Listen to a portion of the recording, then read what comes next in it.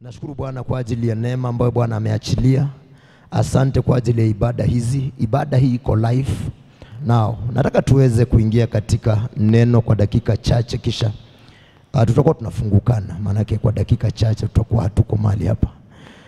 Yes, nataka want us to read the book of John chapter 8 verse 4. Go with me. Open the book of John chapter 8 verse 4.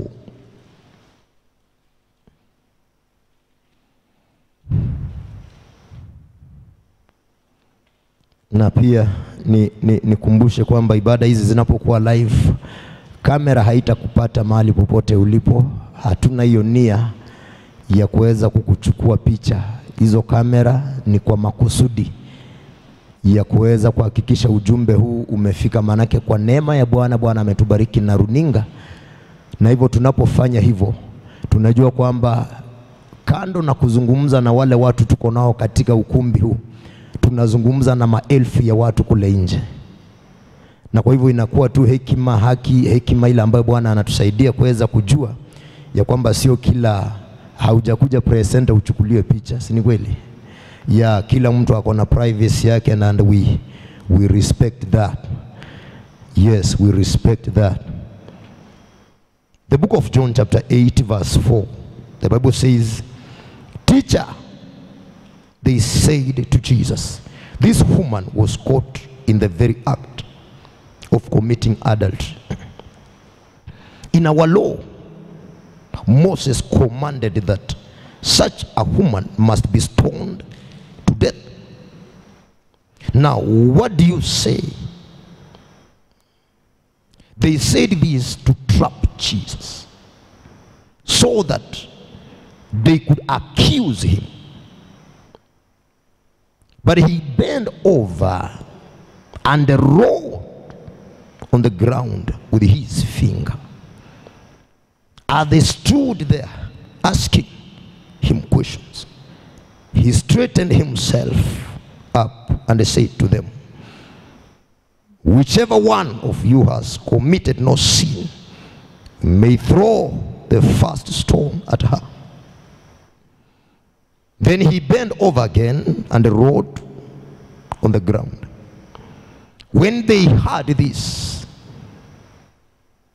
they all left one by one. Now I want you to consider this. Eh? The older ones first. Jesus was left alone with the woman still standing there. He straight, he straightened himself up and said to her, Where are they? Is there no one left to condemn you? Verse 11. No one, sir, she answered. Well, then, Jesus said, I do not condemn you either. Go, but do not sin again. Father, in the name of Jesus, the name that is exalted above every name, the name that is lifted above every principalities, the name that whenever it mentioned, every knee bow and every tongue confess. Thank you, Lord, because of your word. Lord, I pray today that may you open our heart, open our spirit, that we may be able to grasp that which you have ordained for us. I pray, King of all the glory, that may you have your way. Take over this place, have the preeminence to the glory and the honor of your name. Lord, as I share this word, as I deliver your oracle, I pray, Lord, that may you help us, King of glory. Go before us, Holy Ghost. In Jesus' name, we pray. Somebody say amen. In Jesus' name, we have prayed. Somebody say hallelujah. Now, uh, nashukuru Bwana kwa ajili ya kila mmoja ambaye kwa njia moja au nyingine Mungu amekusaidia haijalishi umetumia njia gani kufika mahali hapa. Hata hivyo, Bwana amekusaidia, umefika katika mlima wa Bwana, na umefika kwenye mlima wa Bwana kwa sababu kuna kitu ambacho ulitarajia Bwana akatende. Percentage kubwa sana ya watu wale wanakuja hapa mlimani ni wale watu ambao wamebeba vitu ambazo siku moja wangependa waweze kuona zikiwa zimezaliwa. Yesu akasema siku moja, akasema kwamba ole wake yule ambaye siku ile itampata akiwa ananyonyesha.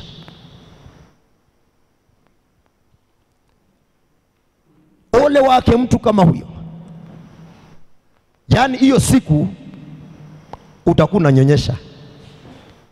Na akasema pia ole wake yule ambaye siku hiyo atapatikana akiwa na mimba. Manake akasema kwamba itakuwa ni wakati wa uchungu sana. Na kwa hivyo nasema hivyo kwa nini? Kwa sababu wakati umefika kwenye mlima wa Bwana, kuna vitu ambavyo ungependa ziweze kuzaliwa, na kuna mambo umemwamini Bwana kwamba siku moja, siku moja uweze kuyaona na macho yako. Na kwa hivyo ninazungumza na watu ambao kuna vitu wako nazo.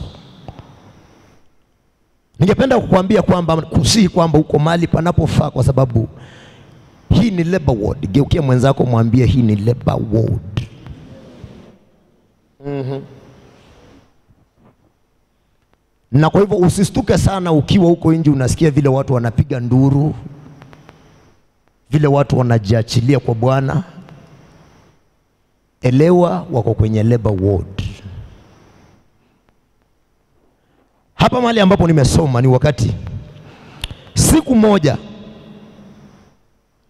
Yesu ameletewa mama huyu ha, ambaye alikuwa amekutwa akiwa alifumaniwa. Nafikiri hiyo ndio Kiswahili sanifu. Alifumaniwa akiwa in the very act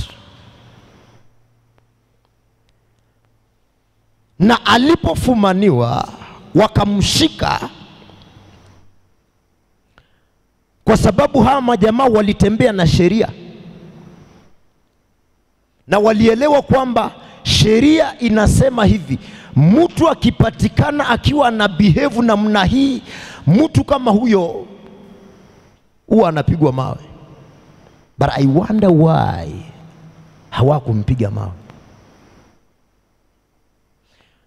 Wakambeba wakamfululiza mpaka kwa mwalimu, na walipomleta pale mali Yesu alikuwa, walimleta pale wakiwa wanataka kujaribu Yesu, wajua atasema nini. Wamebeba mama huyu akiwa amepatikana in the very act kulingana vile ulisema, na wamemleta mbele ya Yesu. Kwa sekunde chache fikiria vile hiyo hali, the scenario, the circumstances, the way it was and how they behaved. The Bible says walipofika kwa Yesu wakamwambia Yesu, mwalimu, huyu anafaa apigwe mawe. Waliingia pale wakiwa na solution, wakiwa tayari wameshakata kesi. Sijui kama umewahi kuwa kwa mkutano ambayo umeitwa mkutano, lakini tayari kesi ishaamuliwa.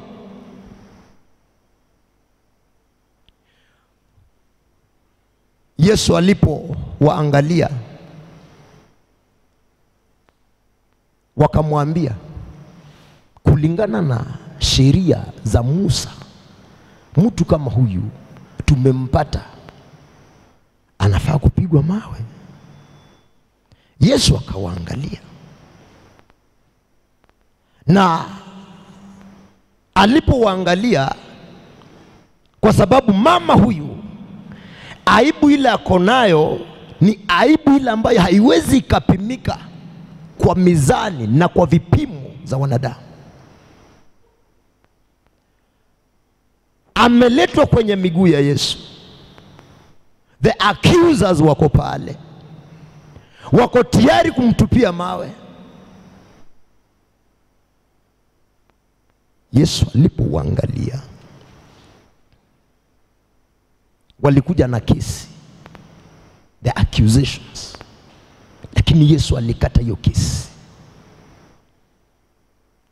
na maandiko inasema Yesu akaandika chini.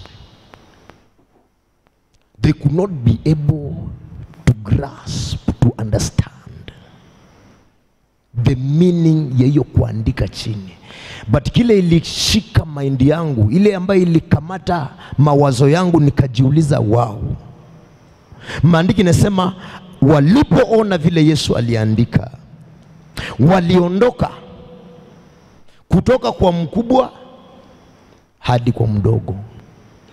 Na swali ile nilikuwa najiuliza nilipokuwa nasoma hiyo text, mdogo aliokota mawe kwa nia gani? Mbona mdogo aliokota mawe? Na Roho Mungu akawa ananisaidia kuelewa, tunaishi nyakati ambazo ni rahisi sana upigwe mawe na mdogo. Ambia mwenzako ni rahisi upigwe mawe na mdogo, hata kama hakukupata kwa the very act. Oh yes. Huyu mdogo alichukua mawe kwa sababu gani? Kwa sababu aliona wakubwa wamechukua, kwa sababu aliona wale wako mbele yake wamechukua, na kwa hivyo ikawa rahisi kwa huyu mdogo kuweza kuchukua mawe ili kumchapa mwanamke ama kumchapa huyu mama.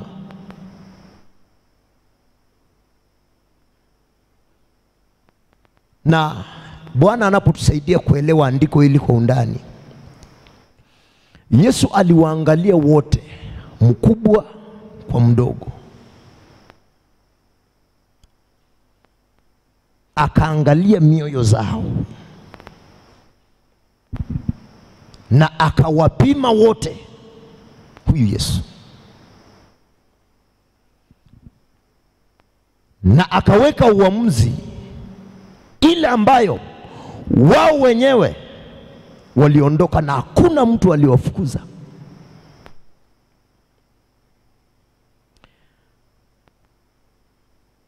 Nyakati hizi ambazo tunaishi na majira haya ambayo tunaishi ni majira ya hatari sana. Tulipokuwa katika maombezi, tume blow the trumpet. Tulipokuwa katika maombezi, tumeomba kwa ajili ya road and staff, na Bwana anatusaidia kuweza kuelewa kwamba kuna ministry zile ambazo zimepigwa mawe kwa sababu ya watu wale ambao walishika hiyo mawe na hawakukuwa na idea kwa nini wameokota mawe.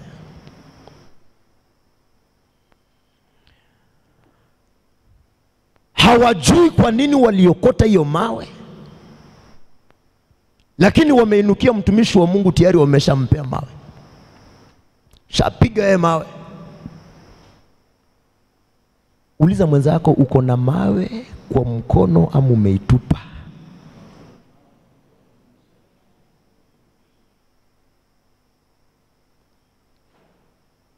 Na kama uko na mawe kwa mkono, afadhali utupe Kuna laana zingine mtu ana, ana, anaondokeanga. Ambie mwenzako, kuna noma zingine na laana zingine mtu anajiondokeanga. Ah, mwambie vizuri, jiondoe katika laana.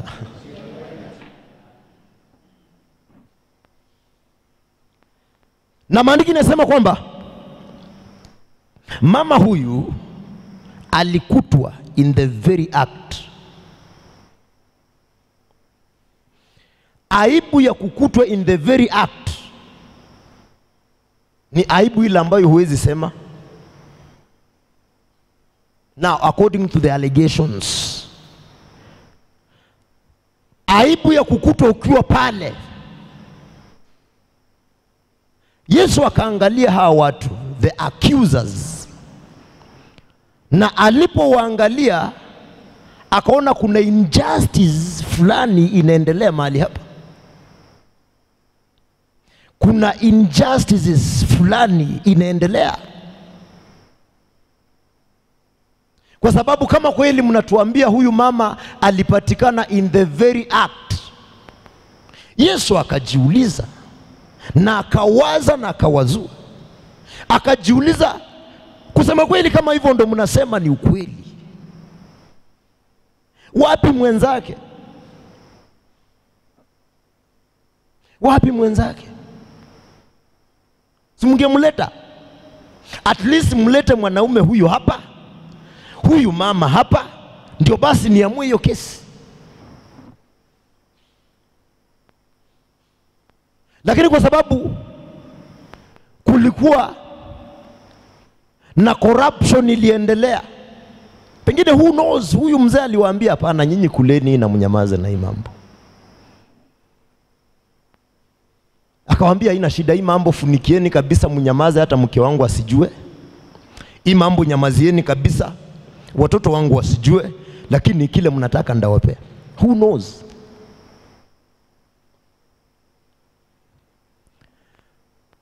Yesu akaangalia mama huyo, na alipomwangalia mama huyu akaamua kesi. And today kuna mtu amefika mahali hapa na kuna mtu ananitazama kwa JTV nimekuja kutangazia mtu kwamba kesi yake inaamuliwa leo hii. Bwana akaamua hiyo kesi yako, yaani Bwana akaamua hiyo kesi uko nayo. Daudi siku moja ameomba na akamwambia Bwana, kwa sababu umeleta ripoti ni choose vitu vitatu,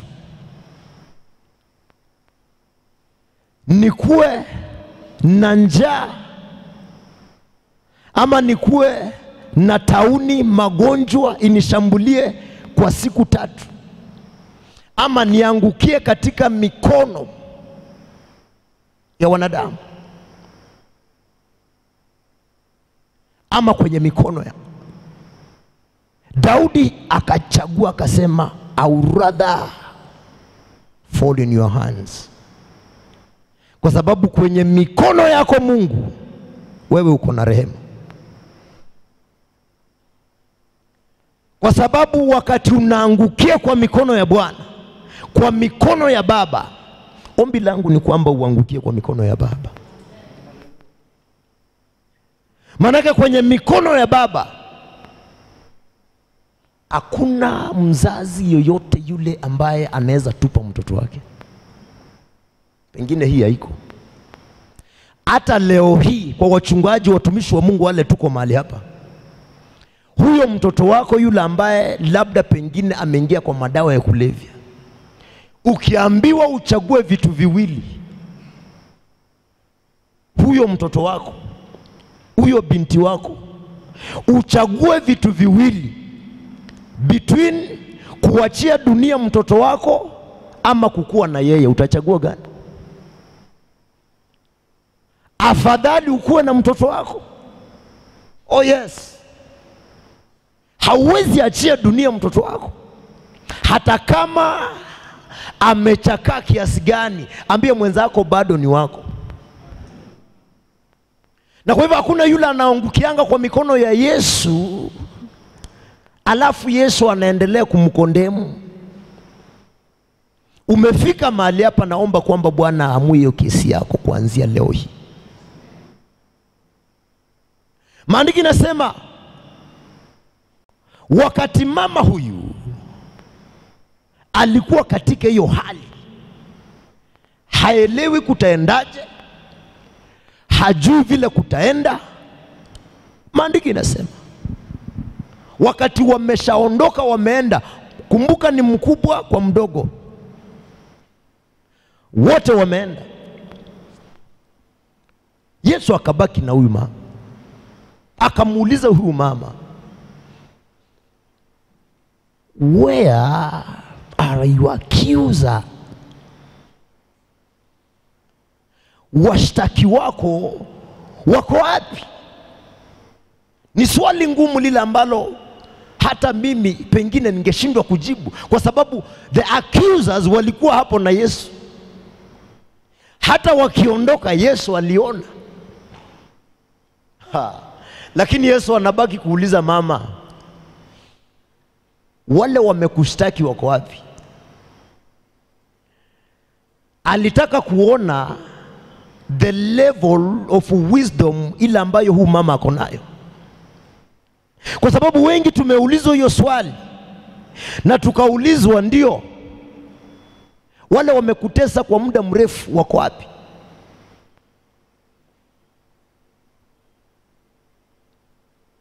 Unajibu aje swali kama hiyo? Unajibu aje swali kama hiyo? Mtu amekutesa miaka zote, alafu unakumbushwa huyo mtu ako wapi?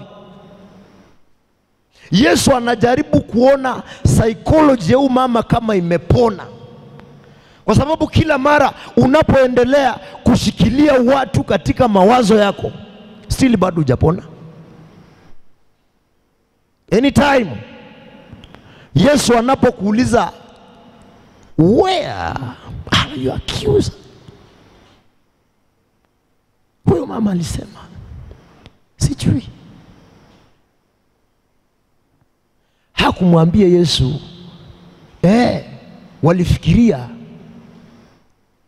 ati maisha yangu imefika mwisho, vile watu wanajigambanga, ati walidhania sita make, ndio hao wamekimbia, wameenda, ndio hao wameenda.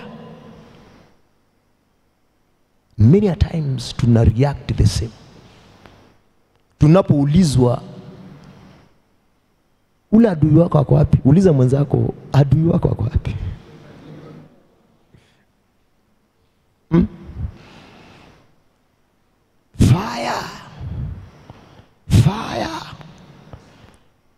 It's a high time, watu wa Mungu, elewa. Yesu alikuuliza hiyo swali akitaka kujua kama umepona, akitaka kujua kweli kama bado umewashika watu kwa moyo, akitaka kujua kama kweli umepona cha ukweli. Ambia Yesu, sijui wako wapi, hata zikiwaangalia siwaoni, na sina haja ya kujua umeenda wapi. Mimi sijui, sijui wako wapi. Nao tunapomalizia, angalia vile Yesu alimwambia huyu mama.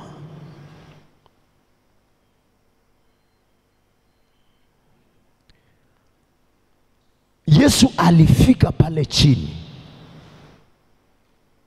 he bend over, he bend over. Version yangu inasema hivyo, aka akamfikia pale chini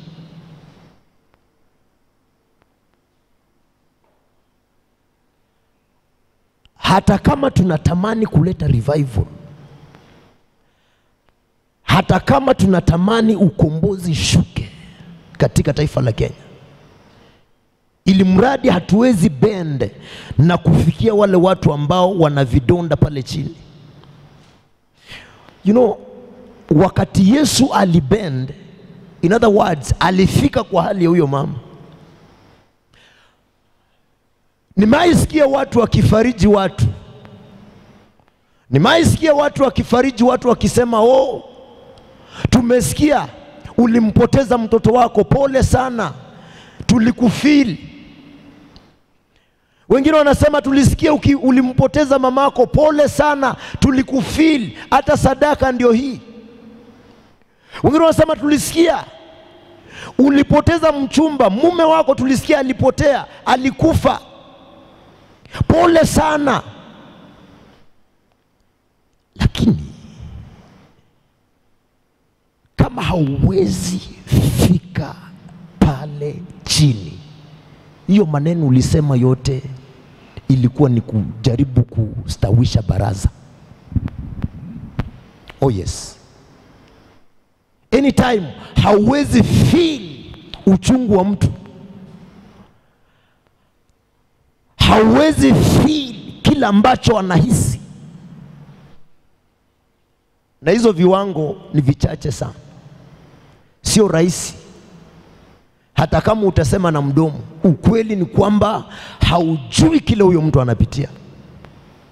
Ukweli ni kwamba wewe ulisema tu pole, lakini haikutoka kwa moyo.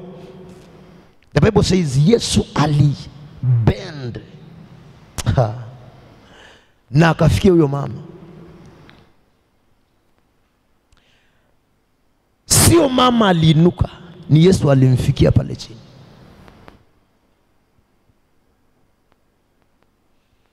Ni mara ngapi tumeacha watu wako wounded? How many times tumeacha watu wako wounded na tunasema hapana, tulifikiria ainuke, tulitaka ainuke. Yes, nikawa nashukuru Bwana kwa ajili ya andiko hili, kwa sababu Bwana anatusaidia pia kuweza kuelewa kuna levels tofauti,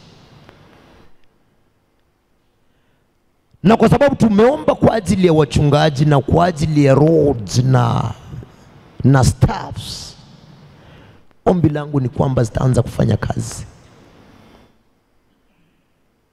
You didn't hear that. Ombi langu ni kwamba road and staffs zitaanza kufanya kazi, ya kwamba hautaona mtu akuwa wounded na umuache pale kwa sababu unakimbia ibada. Uliona wale makuhani na the Levites. Jamaa amekuwa wounded kwa barabara, amejeruhiwa kwa barabara, lakini hao kazi yao walikuwa wanaangalia saa, wanasema hatuna haja na watu kama hao, hatuwezi tukabende, tumshughulikie kazi gani? Kwani tulikuwa hapo wakati alijeruhiwa? Mbona kwanza alichelewa? Wale watu wanachelewanga kuingia kwa manyumba zao, hao ndio wanavamiwangwa na ma, majambazi. A good Samaritan, the Bible says, alipofika pale, maandiki nasema aliinama. Mtu akiwa chini hawezi inuka, inagharimu mtu yule ako juu yule ambaye anatembea kwa miguu zake miwili kuweza kusaidia yule mtu ako chini. Yesu aliinama akajiweka kwa kiatu ya huyo mama, akasema, ninahisi ya uchungu, ninahisi hiyo kudharauliwa, ninahisi hiyo kufokewa, umefokewa, ninahisi vile umetukanwa na vile umedharauliwa, ninahisi. Bible says he bent over.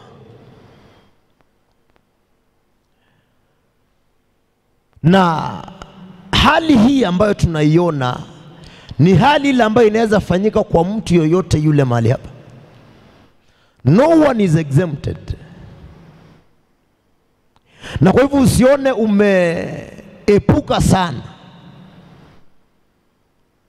And I want us to pray ya kwamba hiyo moyo that you can be able to reach out na kuguza mtu akiwa katika hali fulani. Hiyo ndio moyo tunataka. Praise the name of the living God. Praise the name of the living God. Wakati Yesu aliangalia hivyo akamuuliza, and then he straightened. The Bible says verse 10, John chapter 8 verse 10, kwa wale ambao wanaungana nasi, he straightened himself up and said to her, where are they? Is there no one left to condemn you? No one, sir. She answered, Well, then Jesus said, Do I not condemn you either? Go, but do not sin again. Go, but do not sin again. Kuna mambo unaweza ambia mtu in public, lakini kuna mambo unaweza ambia mtu in private. Yesu alijali sana privacy ya mama huyu, na hata kama mama huyu alikuwa ametenda dhambi, Yesu hakuonesha dhambi ya mama huyu kwa walimu hao. Alingoja wameenda, kisha akamwambia mama huyu, mama, unisikie na unisikie vizuri mimi pia sikuhukumu. Kama wao hawakukuhukumu, mimi sina, sioni haja ya mimi kukuhukumu. Nao enda zako na usitende dhambi tena. What a wisdom! What a wisdom! Hatuoni mambo haya ikiandikwa kwa magazeti, kama iwapo kungekuwa na magazeti wakati huu. Yesu alibaki na mama huyu wawili, na kwa hivyo wisdom inasaidia mtu kuweza kujijua na kuweza kuelewa vizuri sana. Kuna vitu unapofanya bila kukosa wisdom, kuna vitu utavipoteza hata kama zilikuwa zako, hata kama zilikuwa zako utazipoteza. Yesu akamwambia mama huyu nenda na usitende dhambi.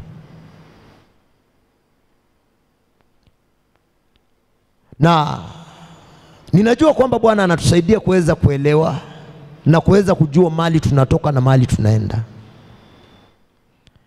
Nimesema leo hii kwamba kesi ya mtu inaamuliwa mahali hapa. Wakati kesi yake inaamuliwa, Yesu hajawahi penda kuanika watu wazi, hata kama huyo dada ama huyo ndugu alitenda dhambi. Kabla mumwanike katika kanisa mzima na kutangaza habari zake, je, mlitafuta wisdom? Nazungumza na watu wengi pale nje na hata hapa ndani kwa sababu mara nyingi wisdom huwa inatupungua sana inapofika mahali kama hapo. Inua mikono zako, sema Baba, kwa jina la Yesu ninaomba wisdom.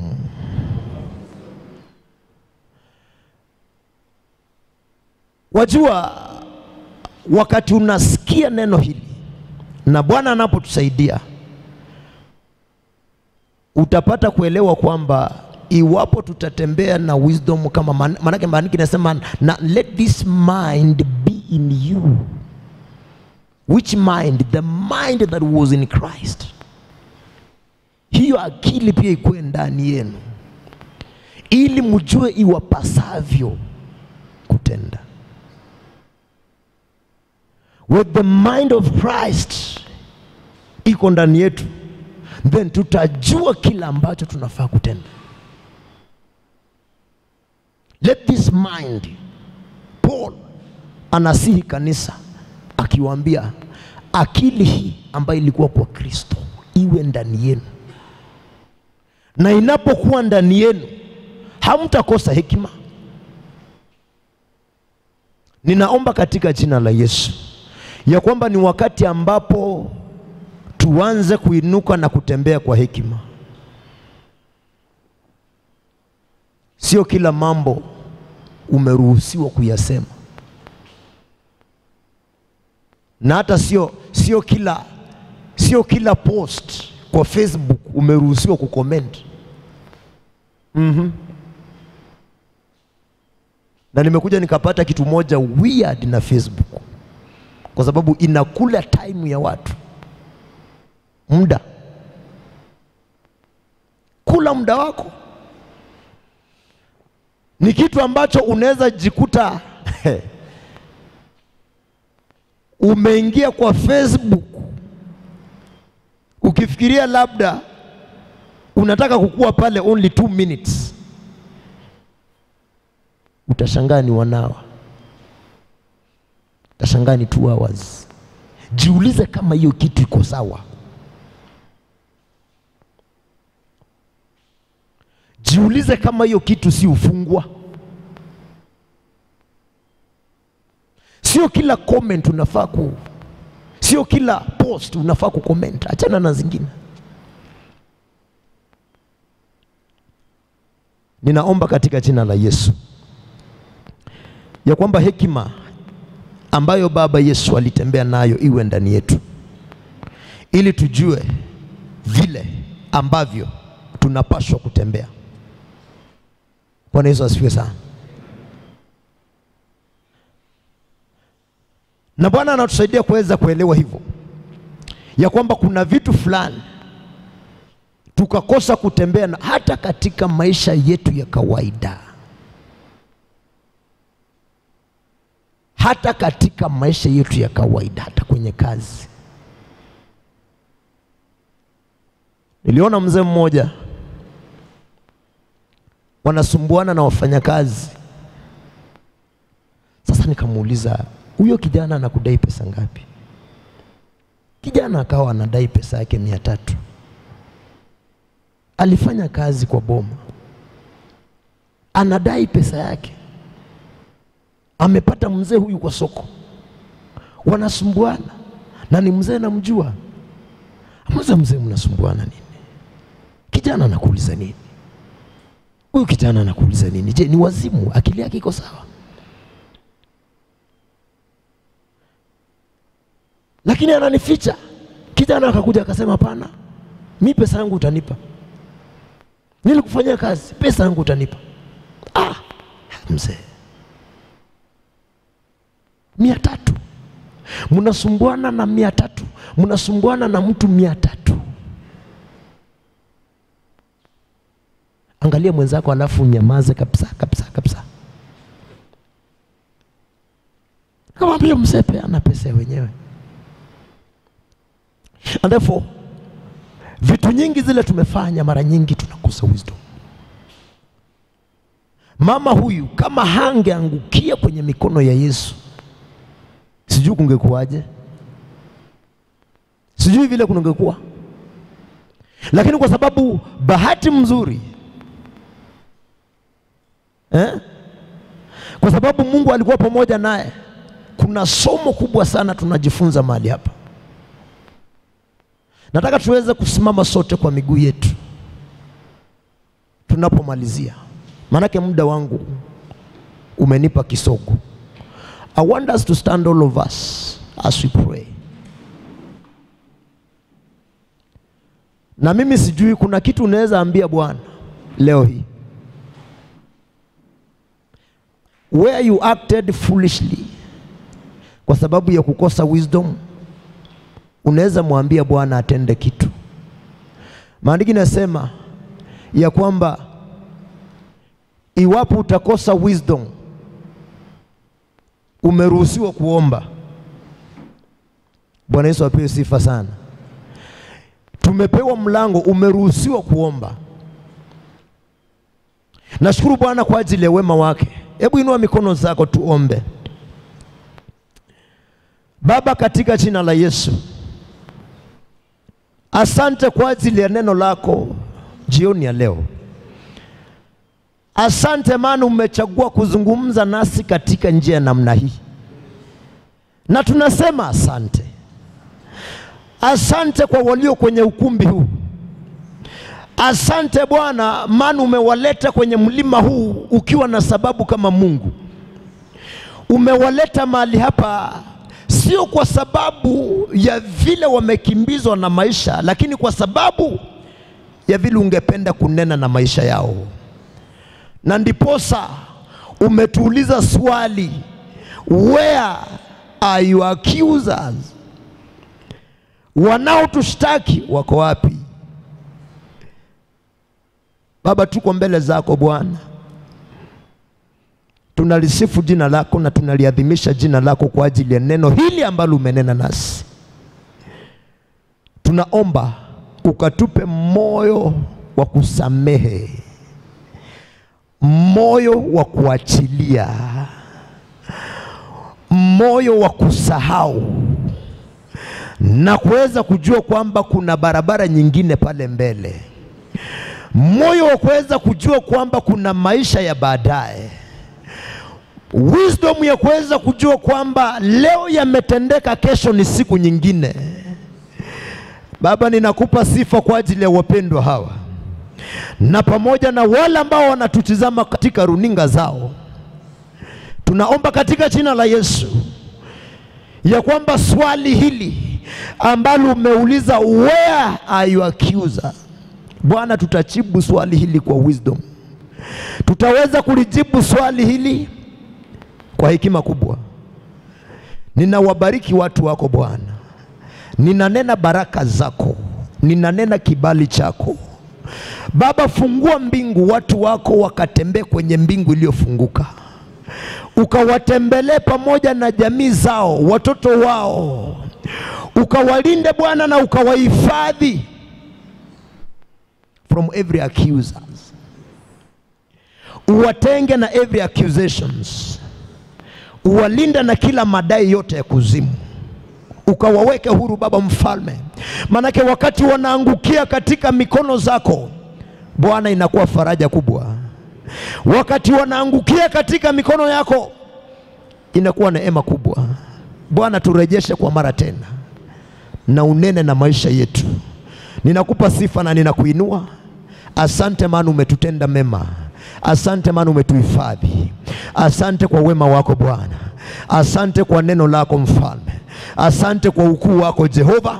Asante maana umelinda jamii zetu, asante maana umelinda watoto wetu, asante maana umelinda waume zetu, asante maana umelinda wake zetu.